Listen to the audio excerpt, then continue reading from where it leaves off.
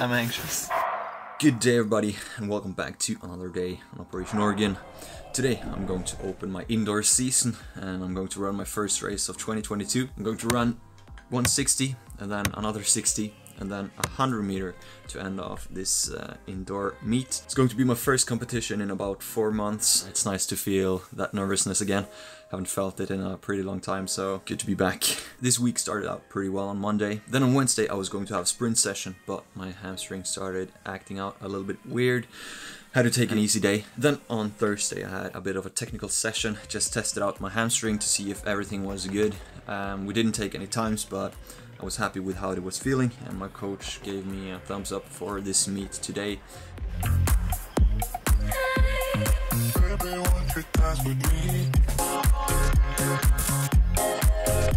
So yesterday I just did a little bit of an easy warm-up. Then I had a little bit of a warm-up this morning and uh, now I'm pretty much ready to race my first race of the season. Feeling like it's one of my most important seasons yet, especially the indoor season will be really important when considering the 200 meter world ranking. Since the outdoor season ended, I have actually climbed the world ranking and European ranking a little bit. This was my ranking right after the 2021 season ended. Uh, here is my progression through the autumn and this is now my final ranking uh, after the New Year's update. And here is my ranking compared to the zero mark, where the zero mark is uh, a qualifying ranking for the championships. So on to today. I got woken up by my cat this morning. Uh, I went downstairs to make some breakfast. I had a little bit of a warm-up and some jumping to prepare for this meet. And now um, I'm actually getting quite nervous.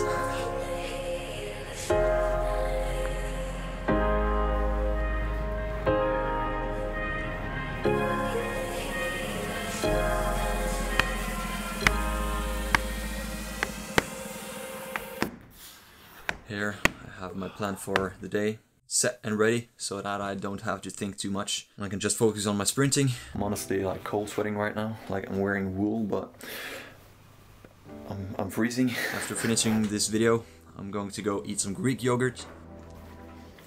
At about 14.20, I'm gonna get my gear, head out to the car, and drive to the competition grounds. Can nervousness make you freeze? According to West Miria Counseling College, freezing can also be triggered when we experience anxiety or panic in our everyday life. Apparently, I'm anxious. You another excuse. About 20 minutes before I warm up, I'll arrive at the competition site. I'll lay down, relax a little bit, visualize my race, and get ready to warm up. At least I'm not freezing anymore. At about 15.10, I'll start warming up and get ready to race.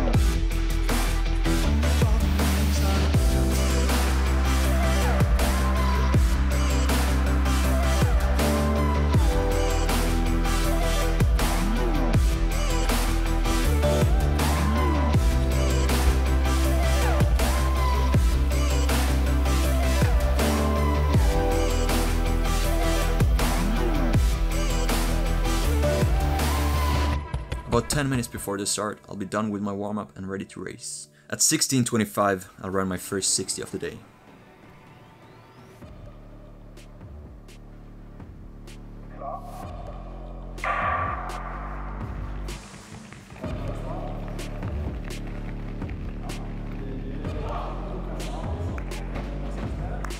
After the race, I will probably be happy with some things and less happy with some others. The things I'm less happy with, I'll try to visualize and work on towards the second 60 meter. Hælen går ikke så høyt opp, liksom. Nei. Kom liksom. Kom opp Men det kan være litt at det ligger litt i Trykk på Jeg skyver litt lenge, sånn at jeg strekker helt ut, nesten. ut, ja. Så er det det. Jeg pleier ikke å være så langt bak. pleier å ha litt vinkel i knelet. I'll lay down, visualize, eat a little bit, and get ready for a new round. I'll do a couple of drills and technical runs to stay warm through the next round.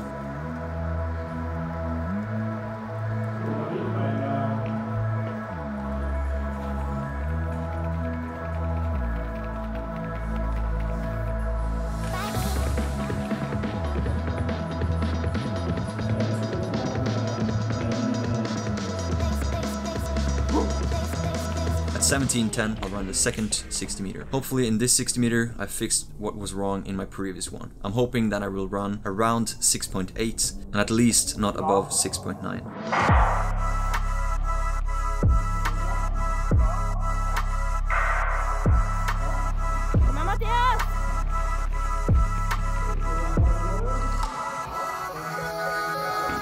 After that 60, I might be happy, I might be mad. Either way, I'll probably lay down, get a little bit to eat, and uh, try to refocus before the 100 meter.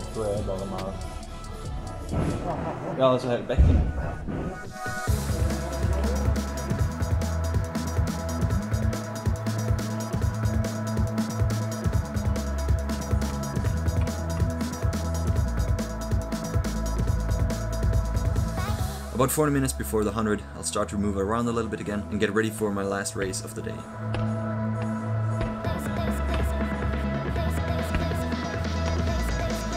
Around 20 minutes before the 100, I'll do my last technical run. I do not need to run any maximal runs as I've already done two in the 60 meters. And 10 minutes before the 100, I'm ready. I'll lay down and relax and just visualize my race. At 18.30, we'll start the 100.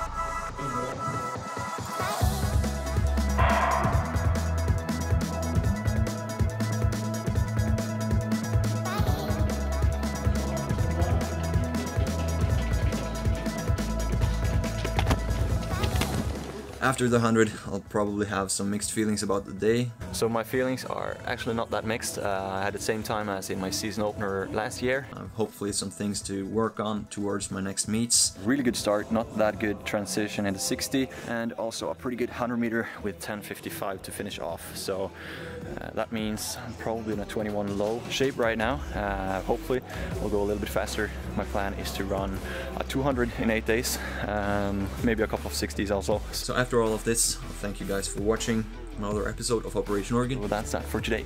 I'll catch you guys another day. Thank you for watching, and uh, an extra thank you to the members. Really appreciate the support, and I'll catch you guys on my next meet in Oslo. Peace.